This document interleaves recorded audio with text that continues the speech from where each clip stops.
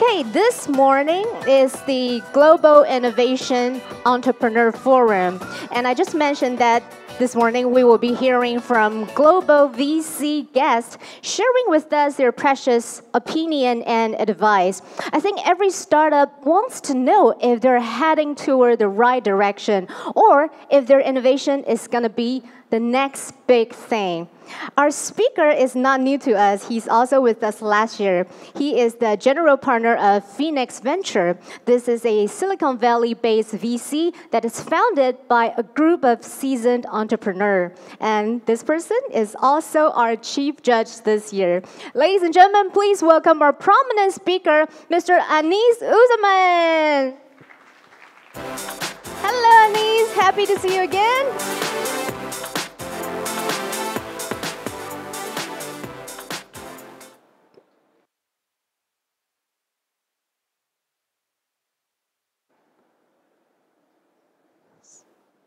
Hello. Yes, good. Hello, everyone. So, thank you very much for having me. Um, I came all the way from Silicon Valley uh, because I feel that it's such an important show in Asia. So, Fenox Venture Capital, um, as um, was introduced, uh, we are a Silicon Valley-based venture capital firm. And today, I want to talk what, are, what is most probably going to be the next big thing in the world. So let's, um, I think you can see some devices here. And if you look at these devices, these are personal assistants. And this is what most probably is one of the biggest trend that you're seeing today. From the left, that is Cortana from Microsoft, then Alexa from Amazon, Google Home from Google, and finally, you are seeing Siri from Apple. These four are known as the most prominent personal assistants today, and these are made up of artificial intelligence. And most probably, artificial intelligence is going to be one of the next big things in the world, and it is going to prevail as one of the trends that you see today. So let's talk about more. This person, the CEO of Amazon, started creating the revolution. They started working on this personal assistant artificial intelligence engine long in 2011. And then they developed this product, and today Amazon has more demand than they can supply. Today in the US, if you want to buy an Echo speaker, you have to wait in the waiting line, and this is how popular these speakers are, because this can exactly work like your personal assistant. So talking about artificial intelligence, if you look at this market, this market is going to be 38.8 billion in 2025. This is how this market is going to be. It is expected that it is going to be much more bigger than what you see here. Now, by artificial intelligence, I mean machine learning, I mean deep learning. We're talking about natural language processing. We're talking about computer vision. We're talking about computer reasoning, and we're also talking about strong AI. All these things, in a word, we're calling it artificial intelligence today. And artificial intelligence is most probably is going to change the world in a big way. I know that there are many entrepreneurs here who are trying to build something, who are leading startup ideas and innovations here.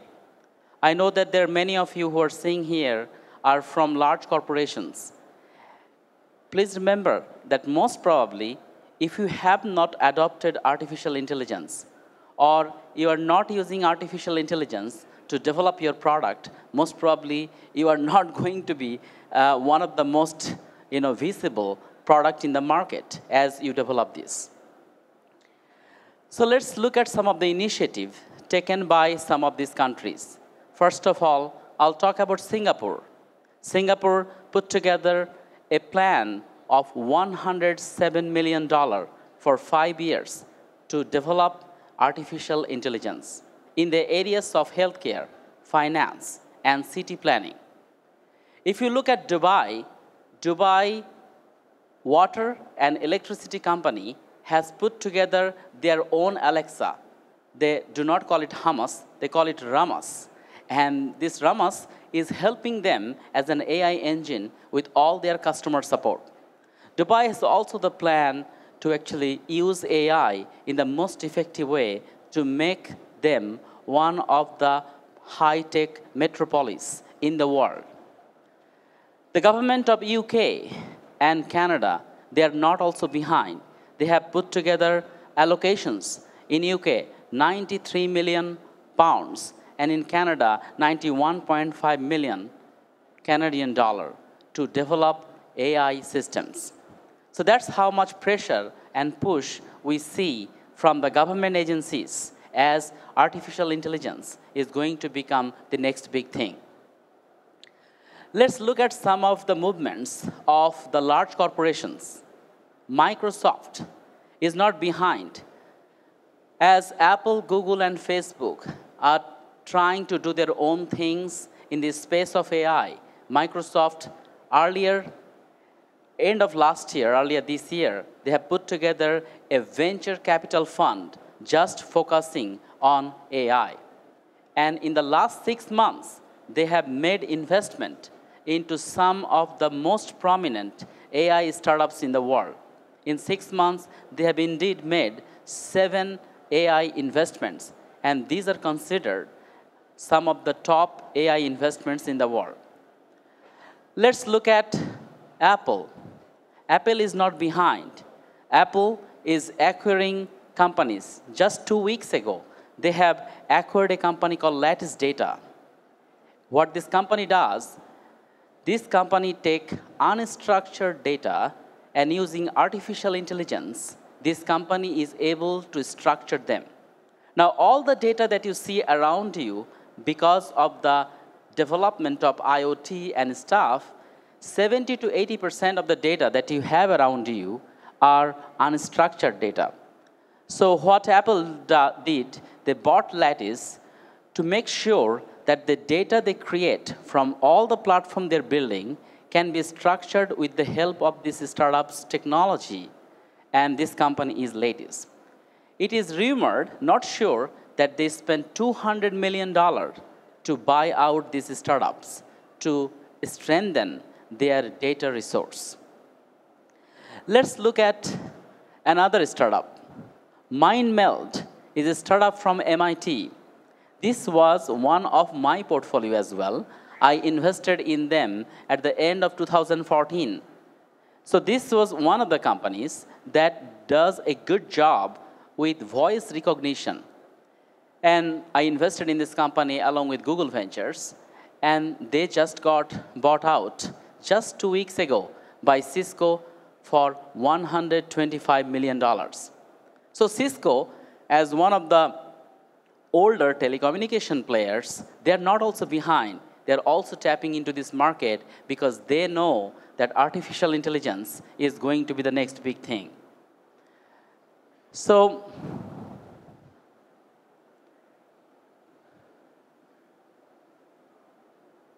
this is not working.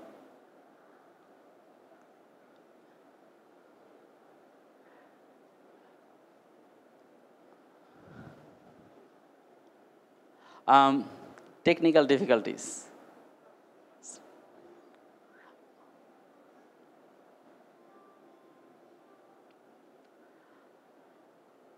My artificial intelligence is not working well now, so I'm getting it fixed, okay? All right. Can I go down?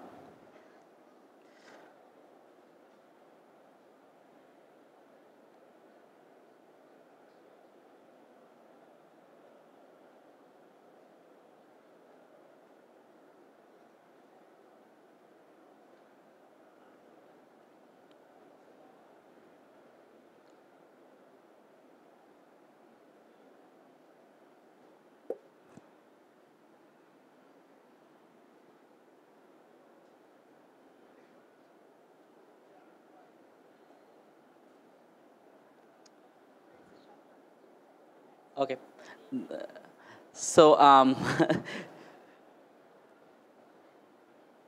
so let me keep talking when they come back. Um, so artificial intelligence is so hot that my company, so we also invest worldwide. Um, in the last three years, um, we have invested in more than 100 companies around the globe. Um, 60 to 70 percent of the investments that we make are still in Silicon Valley, um, but uh, we also invest heavily in Asia. So 40% of our investment in Asia.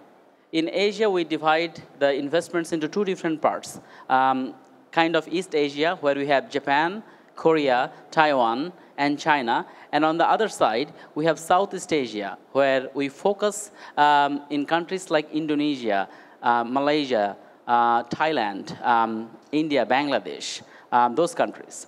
So we've invested all over, uh, but recently we also fo started focusing uh, heavily in IoT, in artificial intelligence. In the last 24 months, we have invested into more than 10 AI startups in Silicon Valley and outside of Silicon Valley. So I wanted to um,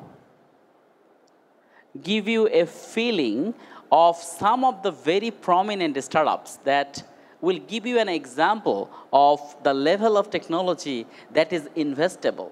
Um, and I am willing to invest. So this, there is a company called DeepMap, and this is a company that provides you the software that gives you accurate high definition mapping and real-time localization support. So if you actually able to take the picture of a road using a digital camera, they use a technology uh, using LiDAR technology, and they're able to accurately um, define the road.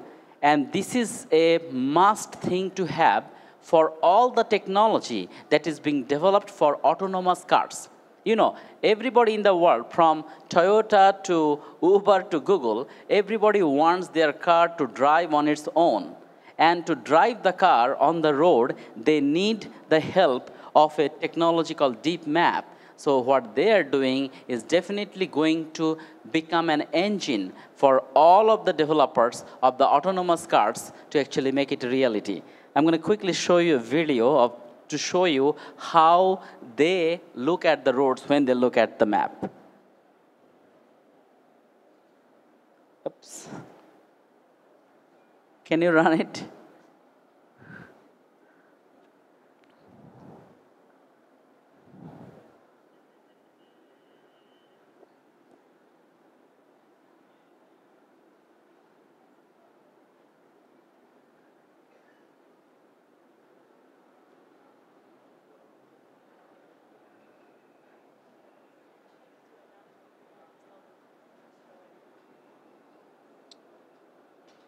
Should I skip?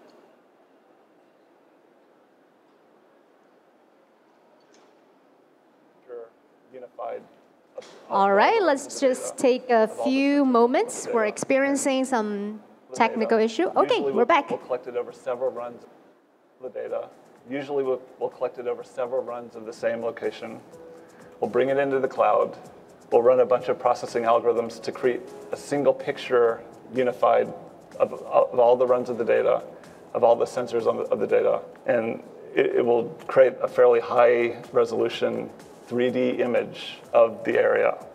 From that, we can create and model down to very detailed accuracy all the geometric features in the road that are relevant to the self-driving car.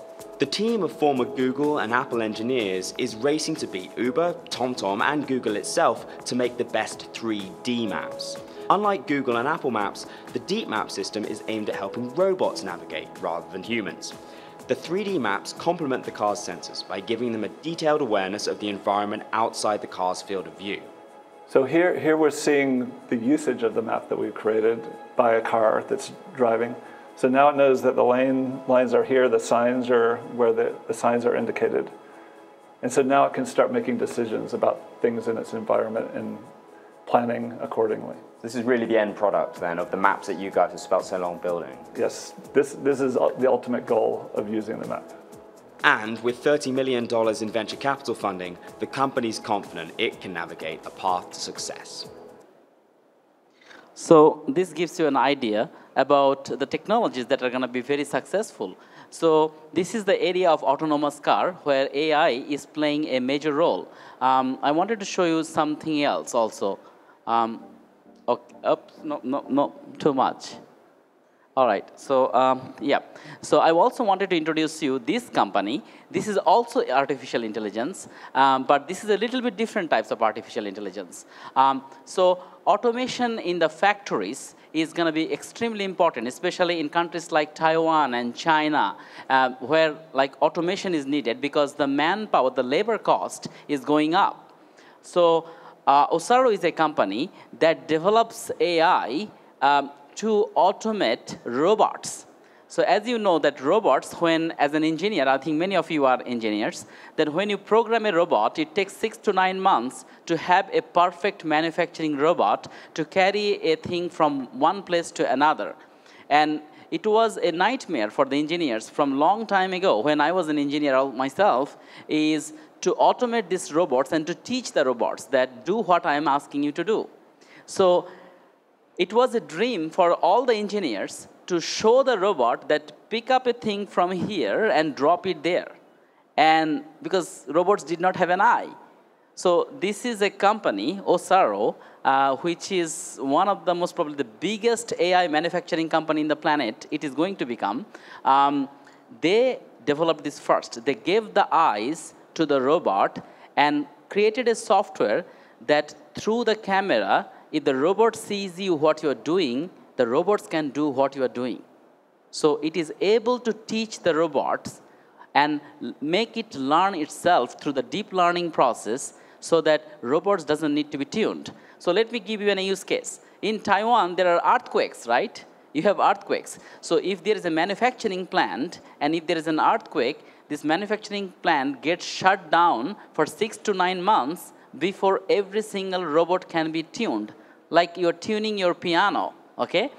With this technology, when the earthquake is gone, the robot remembers what it needs to do. It doesn't need to be tuned anymore. It can tune itself. So that's going to save you billions and trillions of dollars around the world in manufacturing. So I'm going to show you a video.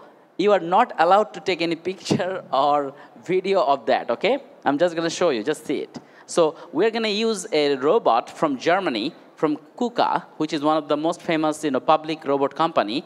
And we have um, programmed the robot with the AI software. And it has a camera that we have attached through a tape. And it is able to see for the first few times how we're going to teach it. And then it is able to replicate on its own. Again, you are not allowed to take any video, please. Okay? So see. So this is a KUKA robot. And through the use of a 3D mouse, we are actually teaching it how to grab a three-dimensional object. This is the 3D mouse, and the camera is the eye of the robot. You see we have attached it with a tape.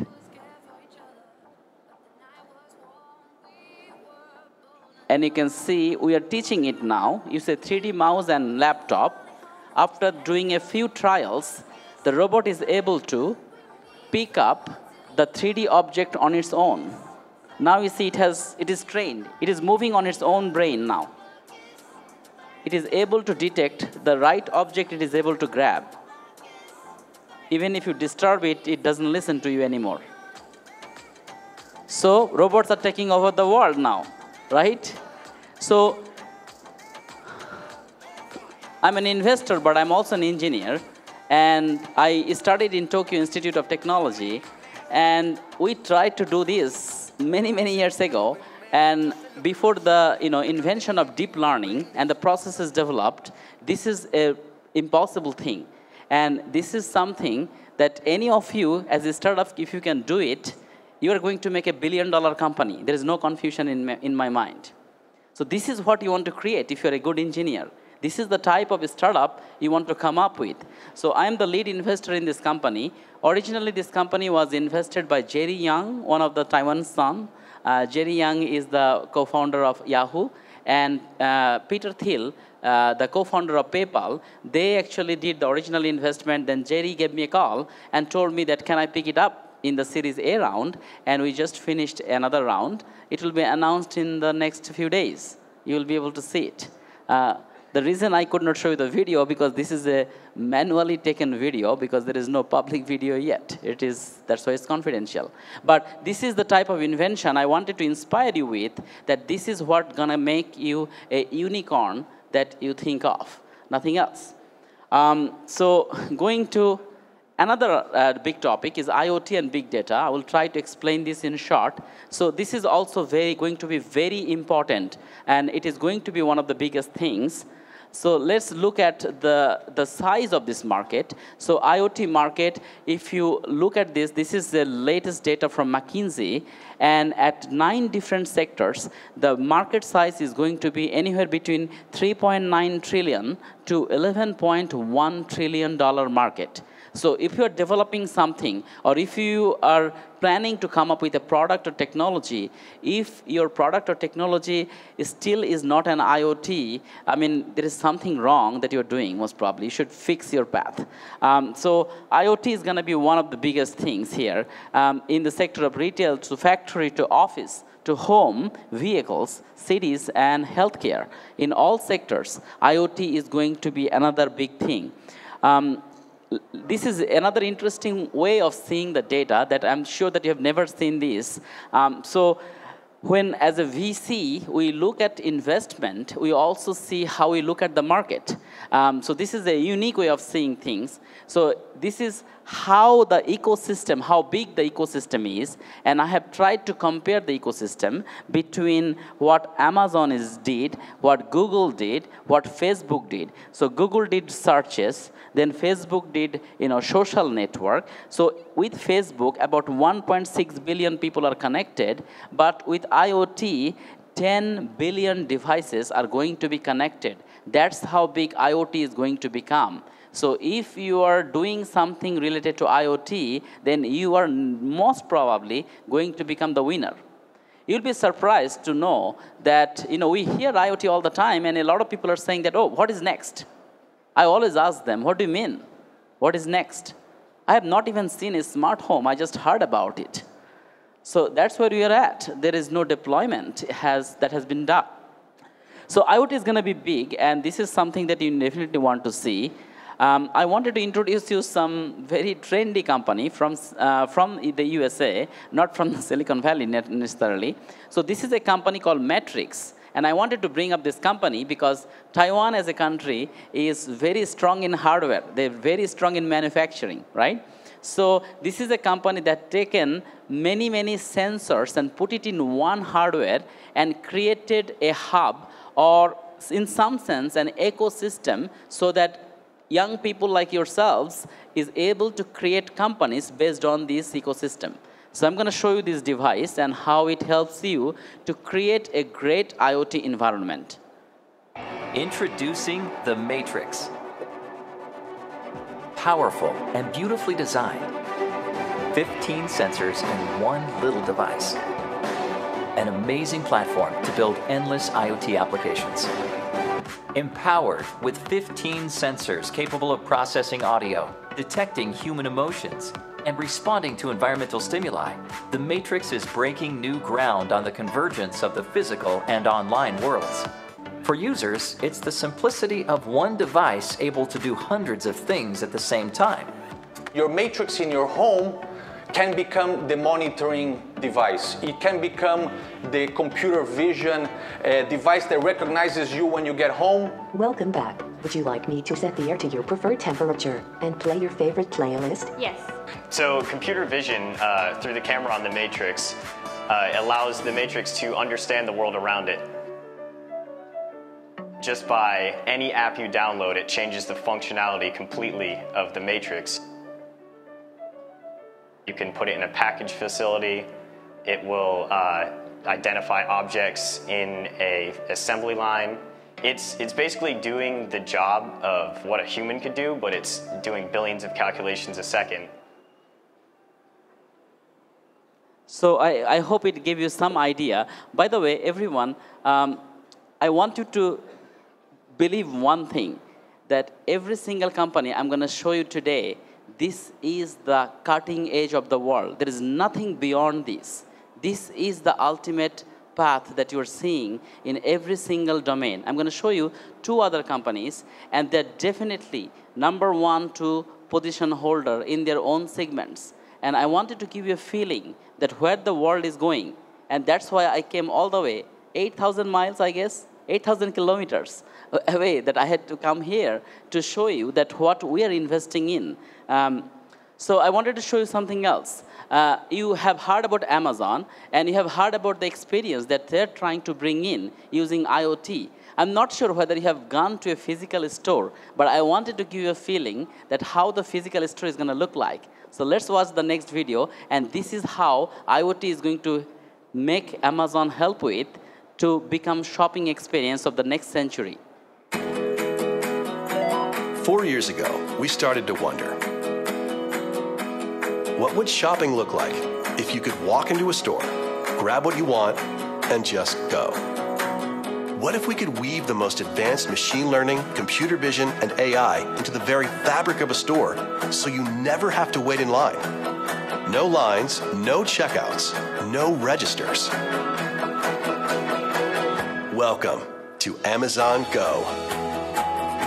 Use the Amazon Go app to enter. Then put away your phone and start shopping. It's really that simple. Take whatever you like. Anything you pick up is automatically added to your virtual cart. If you change your mind about that cupcake, just put it back.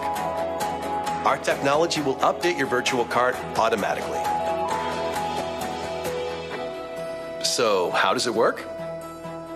We used computer vision, deep learning algorithms, and sensor fusion much like you'd find in self driving cars. We call it Just Walk Out technology. Once you've got everything you want, you can just go. When you leave, our Just Walk Out technology adds up your virtual cart and charges your Amazon account. Your receipt is sent straight to the app, and you can keep going. Amazon Go. No lines, no checkout. No, seriously.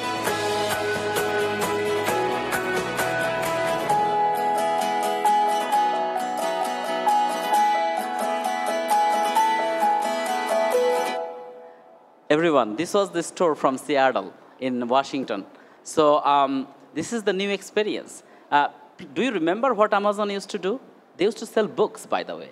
And what they are doing today, they have changed the way people use technology. So there is one good learning for a lot of large corporations around the world that you started with selling books, but today you lead the world with the trend that you are creating here another thing to learn from this amazon experience that everybody is talking about go online go online. But you know apple and amazon they're showing a way that go back offline a combination of offline and online can make you winner. That's why Apple, with all these app stores around the world, they are the winners. And Amazon is trying to go back there with the same thing. So going online is most probably not the only way. A good combination of online and offline most probably creates the biggest billion dollar platforms of the world. I wanted to show you something else. Big data is going to be very, very important. And data is going to come from all different devices, all different technologies that people like you develop. So processing this data and and processing it in the way that you can use for the next other thing is going to be extremely important. One of the companies that I respect and personally believe is one of the biggest startups in the big data space is a company called Tamr. And they have created a revolution in how they process data from different sources. I'm going to quickly show you one use case of this, but they have been able to partner with some of the biggest people in different domains to process their data. So this is another idea for you, is that data processing can be another big way to actually achieve what you are trying to achieve today. I'm going to quickly show you that how they're using some of the medicine drug developers with the FDA approval process. The path to FDA approval is lined with plenty of challenges. So, timely, accurate submission of clinical trial data is absolutely critical. Formatting your clinical study data is time consuming, expensive, and error prone. It can throw your clinical trial submission way off course and increase time to market. And because standardization is expensive and slow, most companies only standardize what's absolutely necessary for CDISC submission, leaving 80% of clinical trial data unusable for analytics. Good news, now there's an easy way to speed FDA submissions. Introducing Tamr, the scalable way to unify clinical study data and quickly convert to CDISC format. Here's how it works. Tamr takes your historical data directly from SAS and legacy file formats and automatically converts 80% of clinical study data using machine learning. Whenever conversion steps cannot be automated, Tamr generates questions for data experts, collects responses, and feeds them back into the system for continuous learning and improvement. As Tamr learns, future data transformations become easier, accuracy and speed improve, and institutional knowledge builds as new trial data sets are introduced. Not only that, when the CDISC standards are updated, Tamr updates any older submissions to match new requirements. And you can leverage all of this data in your clinical data warehouse for better analytics. Why rely on expensive manual data conversion processes when you can use Tamr to streamline CDISC submissions? Only Tamr stays on top of change requirements. So I think um, I'm going to the next thing. It is stopped. Can I go to the next slide?